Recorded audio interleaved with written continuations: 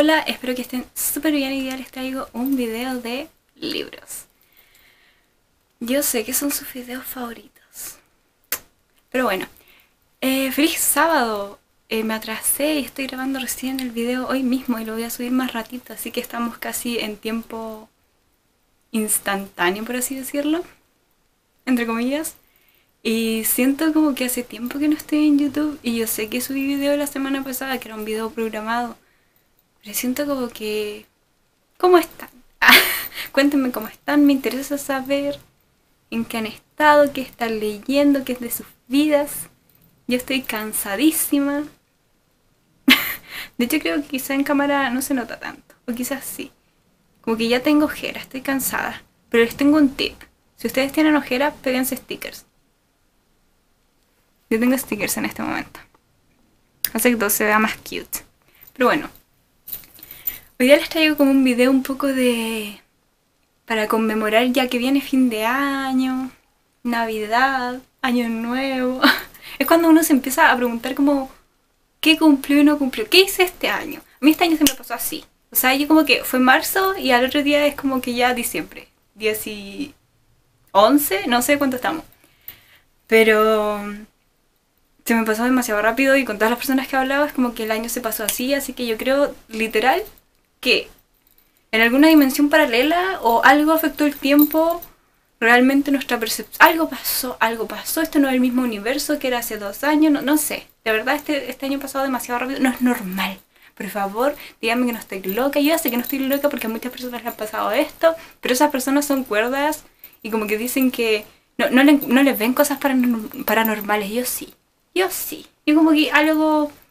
Estamos en otra línea temporal y no nos dimos cuenta. No sé. Pero bueno, el video de hoy. Mis recomendaciones de libros cortos para ustedes. ¿Por qué? Porque como... No, no, seguramente no saben, porque un video del año pasado yo dije, ah, voy a hacer como un video de mis propósitos para el año 2021. Y uno de esos era la cantidad de libros que yo quería leer, que en verdad no era muy ambiciosa, porque el año pasado yo leí 48 libros.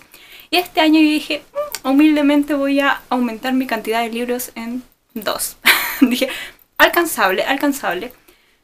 Y dije, ya quiero este año leer 50 libros. Resulta que estaba así como en la última semana de octubre y yo me di cuenta que me faltaban 15 libros. Y así como que... Y en octubre me había leído con suerte dos y me había costado. Entonces yo así como que... ¿qué voy a hacer? Y yo dije, ya no importa, no me voy a presionar. Y después fue como que, no, si me voy a presionar, yo quiero cumplir mi meta, quiero cumplir mi meta. El próximo año va a ser ya como sin meta, simplemente disfrutar la lectura, pero este año yo, me propuse algo. Soy una mujer que cumple. Casi todo el tiempo. No, sí. Entonces dije, no, no me puedo fallar a mí misma. O sea, uno no, uno no puede fallarse a sí mismo. Entonces dije, ya, ¿qué voy a hacer? Obviamente buscar libros cortos. Y coincidentemente, compré al menos dos libros de poemas, pero esto fue antes, los compré antes de verme en esta situación, entonces ahora fueron perfectos para leerlos. Y aparte de otros libros cortos que les voy a ir mostrando, miren. Por ejemplo, un día fui en la feria, vi esto y dije, oh, tiene una calaverita. ¿La pueden ver? Ya no sé dónde está. Ah, acá está. Hay una calaverita y yo la encontré súper bonita y un libro que estaba todo feo, pero costaba 500 pesos y es como para niños, está cortito. Y yo dije, está bueno. De hecho, este libro me merece quizá un video propio porque me enojé leyéndolo y había como un cuento solamente que realmente me gustó, que una recopilación de cuentos. Ya, miren, les voy a hacer otro video cortito de esto porque siento que estaría entretenido. Ya. Y también también había comprado estos, primero el azul, después el verde, que este creo que se los mostré en otro video. Que son cortitos, coincidentemente, entonces me sirvieron para este video. Y este que compré hace poco junto con este del síndrome del impostor, que es este. Que son... Es uno de los cuadernos de Lovecraft de edición Minotauro, en este caso es el cuento La rata de los paredes y tiene ilustraciones y es súper cortito. Más adelante cuando tenga los tres que han salido de esta edición les voy a hacer un video propio también porque están de verdad preciosos. Y les voy a contar los libros que estoy leyendo ahora y que ahora sí parte de mis recomendaciones para ustedes también si están en la misma situación que yo en la que ven que no van a llegar a su meta de libros y necesitan libros cortos. Primera recomendación, libros de poemas.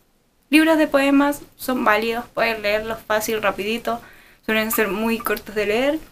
Libros de poemas. Segunda recomendación, cuentos infantiles. Como les mostré anteriormente, el de El terror del sexto B es un cuento, recopilación de cuentos infantiles, pero son cortitos, fáciles de leer. Y sinceramente, creo que es muy bueno leer cuentos infantiles, especialmente cuando uno ya está grande. Siento que uno puede sacar bastantes cosas de limpio.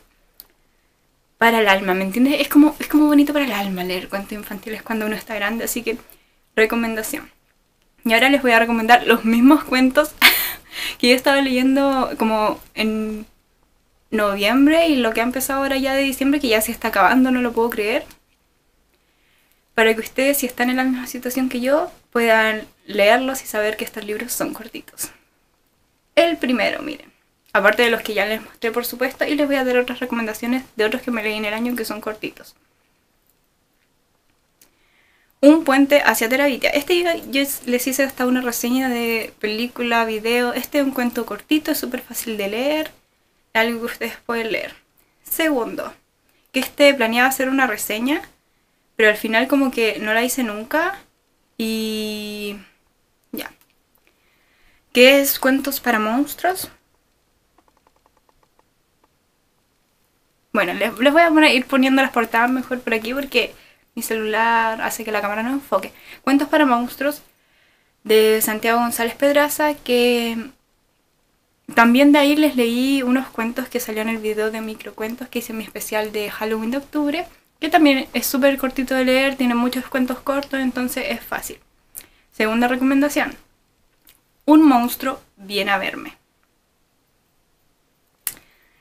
Este básicamente trata de un niño que tiene una madre enferma y cómo este, entre comillas, materializa sus miedos a través de este monstruo, ¿no? Que viene a verlo en sus pesadillas. Y un libro bastante bonito, un libro bastante corto. Tiene de hecho, aquí dice que tiene 237 páginas, pero en la aplicación que yo ocupo, como la página tiene menos letra, entonces en el fondo deben ser como unas menos de 200 páginas. Entonces un libro bastante cortito y bastante fácil de leer, la historia te atrapa, como que necesitas saber al final como que qué pasa con este monstruo. Se los dejo ahí segundo libro cortito que también se me hizo súper como rápido de leer. Yo nunca había leído como nada de Sherlock Holmes. Entonces dije, bueno, que es El perro de los Baskerville. Siento que este es un clásico, pero yo no sé por qué nunca lo había leído. La cosa es que nunca lo había leído. Les dejaré la portada por aquí. Y aparte, justo el libro que descargué es una versión ilustrada, entonces lo encontré súper bonito. Y la historia estaba entretenida, o sea, en verdad, como que uno empieza a leer y como que te dan ganas de seguir leyendo. Es básicamente una historia de, misterio, detectives. Sherlock Holmes. A los que ya han leído más o menos saben algo de eso. Y un perro maldito. ya no sé en qué número voy, pero El Principito. Un cuento bastante corto, tendrá como 100, 100 y algo páginas. Quizás menos porque en esta aplicación tenía como 150 páginas, algo así, entonces debe tener muchas menos, que también es un clásico que yo jamás había leído. Y la verdad sí me gustó mucho, lo encontré muy bonito, me encanta como te enseña a apreciar como el niño interior que todos tenemos, esas cosas que a veces perdemos cuando crecemos. Y no solo eso, que a veces no las perdemos, pero a veces las ocultamos porque ya somos adultos. Y siento que eso está mal. Pero bueno, seguramente muchos ya lo han leído y para quienes no, léanlo, es cortito y si están como yo que quieren cumplir su lista de lecturas de este año, les va a servir. Siguiente, El Jardín Secreto. De, no sé si este se lee, como Francis, Francis Hodgson Burnett. Burnett. Seguramente lo leí súper mal, pero bueno. El Jardín Secreto, que este tiene una película y yo recuerdo cuando chica haber visto, quizás no la película entera, pero ciertas imágenes y como que me acordaba un poco, es una niña que queda huérfana y por ende se va a vivir a otro país con su tío y ahí se da cuenta que no tiene más niños para jugar y en realidad ya nunca tenía otros niños para jugar, entonces empieza a jugar en los jardines hasta que descubre la existencia de un jardín secreto. También va conociendo después a otros niños con los que se va haciendo amigo y van creando como eh, mundo en torno a este jardín, en torno a descubrirlo y luego en torno a cuidarlo. Eso sí, este libro partió gustándome mucho, pero después como que al final no me gustó porque básicamente te hace como un cambio de personajes principales, como que parte siendo la niña, lo siento, soy pésima para recordar los nombres, pero la niña la protagonista y después como que termina basándose todo en otro personaje que es un niño.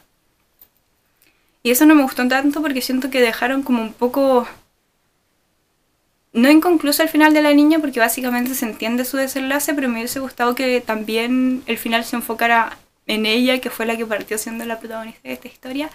Pero un libro bastante bonito, bastante fácil de leer y corto, muy interesante porque obviamente te hacen un imaginario que esto está en... no me acuerdo en qué periodo, pero 1900 será por ahí. Entonces obviamente es bonito de leer. Me pasa con muchos libros eso, es que el imaginario es bonito porque que son casonas antiguas, vestimentas antiguas, entonces se me hacen bonitos de leer. Y les voy a contar los que estoy leyendo ahora. Y básicamente uno lo terminé de leer así como que ayer y esto eh, empecé a buscar videos en YouTube también para ayudarme a encontrar libros cortos porque en este momento me faltan me faltaban tres para leer ahora en diciembre y ahora me faltan solo dos porque justo anoche terminé uno. Y les voy a dejar igual el link abajo por si quieren ir a verlo por sus propios ojos. No sé por qué dije eso, sonó súper extraño, pero bueno. Que es un libro de Arcades Book, un libro, un video. Es un video en español, pero bueno, el nombre es en inglés. Y ahí les voy a dejar el link en la descripción. Que de ahí también saqué unas recomendaciones. Y el primero es Aura de Carlos Fuentes. Es un libro súper corto. Tiene 50 páginas y es voy a dejarlo como paranormal de misterio. Ahí está, miren, no les voy a decir nada más. No, ya quizá un poquito. Es un hombre que ve un anuncio, anuncio en el diario eh, para escribir los documentos del marido muerto de una viejita. Terminar los documentos que ese marido dejó. Entonces él va a esta casa y toma el trabajo y ahí se va dando cuenta que esta viejita un poco extraña y su sobrina de nombre Aura también. Es cortito, es atrapante, el final me encanta. De hecho, por un momento me recordó mucho a, La cosa en el umbral de Lovecraft. No es tan como eso, pero tiene como una idea cercana. Pero me gustó mucho. Y lo terminé de leer anoche. Es, un libro de verdad que tú lo puedes leer yo creo que en una hora, pero como he estado con tan poca cosa tan poco tiempo, lo leí como básicamente en ratitos, como en tres días, entonces igual está súper. Y el que voy a empezar a leer ahora, que también es un libro corto y que lo tengo en mis pendientes hace, hace tanto tiempo, hace tanto tiempo, que es El extraño caso del Dr. Jekyll y Mr. Hyde. Jekyll, no sé si se dice así, mira, porque yo nunca busco cómo pronunciar las cosas antes de hacer los videos, pero bueno. Y es cortito, la verdad no sé nada de este libro. Solo sé que lo tenía en mi libro de pendientes como hace mil años. No sé de qué se trata, no tengo idea y tampoco he leído. De hecho, en el video que les mencioné anteriormente, como que ella iba a hablar un poco de ese libro porque lo tenía en sus recomendaciones, pero como que me lo salté. Me lo salté porque no lo quería leer. O sea, no quería saber de qué era el libro antes de leerlo. Así que esa es mi próxima lectura y me falta un libro. Eh, hay otro que estoy leyendo que es este, que es Magia del Caos, que es una recopilación de ensayos, que este yo lo había empezado a leer como hace dos o tres meses, pero leí como dos páginas y después como que no seguí porque estaba muy atareada y también estaba leyendo otros libros. Y como que ahora lo retomé y es cortito, no tiene más de 200 páginas, pero no sé por qué. Últimamente los libros como de magia me cuesta demasiado leerlos. No sé por qué. Como que no, no, no logro engancharme totalmente a pesar de que la información esté súper interesante. No sé por qué. Pero bueno, así que pretendía leer también este libro este mes, pero quizás puede que no lo termine por esto mismo de que me está costando leerlo. Así que necesito una última recomendación. Así que si ustedes saben de algún libro cortito, eh, que no sea tan cuento cuento, sino que sea más como libro corto, como más o menos los que les he ido mencionando, pueden dejármelo en los comentarios para poder terminar mis lecturas de este año. Eh, porque aunque tenga que desvelarme todo un día leyendo, yo voy a cumplir mis libros. Me faltan solo dos. O sea, ¿cómo no lo voy a lograr? Yo digo, ¿cómo no lo voy a lograr? Me quedan dos semanas básicamente para que termine. No, creo que tres semanas para que termine el mes. Así que tengo que lograrlo. Y le voy a dejar una de mis últimas recomendaciones. Dos. Una, Carmila. Para los que les gustan los vampiros. Es un libro corto. A mí me gustó bastante la historia, lo que sí y de hecho escuchaba a más personas decirlo, hay un tema con las traducciones. Porque he visto en otras editoriales que personas han dicho como que no les gustó mucho la traducción y yo el que leí que era ilustrado, no tengo idea de cosas de traducciones, pero habían partes que se me hacían un poco raras y me hacían cuestionarme como que si estaba bien traducido o no. Entonces no sé si como lo escribió el autor era una forma muy complicada o así, pero eso. Pero es cortito y a mí se me hizo bastante entretenido. Y el último, como sé que a ustedes, en general, porque no a todos, les gusta Stephen King, les voy a recomendar Elevación de Stephen King, un libro maravilloso que prácticamente leí como en dos horas, porque es amado, muy fácil de leer, en una em, edición maravillosa tapadura, esta me encanta. Y esa es mi última recomendación de cuentos cortos para poder terminar su meta de lectura de este año. Yo sé que este libro, este libro me da, este video está como un poco caótico, como que empezó hablando así, así fui, así fui, agarrando de todas partes en este video, pero espero que les ayude, que les hayan gustado mis recomendaciones que se fueron a la rápida. Yo sé que muchos no dije de qué se trataba el libro, pero eso. Espero que les haya gustado este video. Si tienen un libro para recomendarme que sea corto y que me ayude para cumplir mi meta de libros de este año, por favor déjenmelo en la descripción. Em, en la descripción, en los comentarios. Cuéntenme si ya han leído alguno de estos libros que están leyendo, si están por cumplir su meta de lectura o no. Ahí déjenmelo todo, por favor. Eh... Bueno, y si llegaron a este, esta parte del video, voy a darme un pequeño momento para hacer un speech.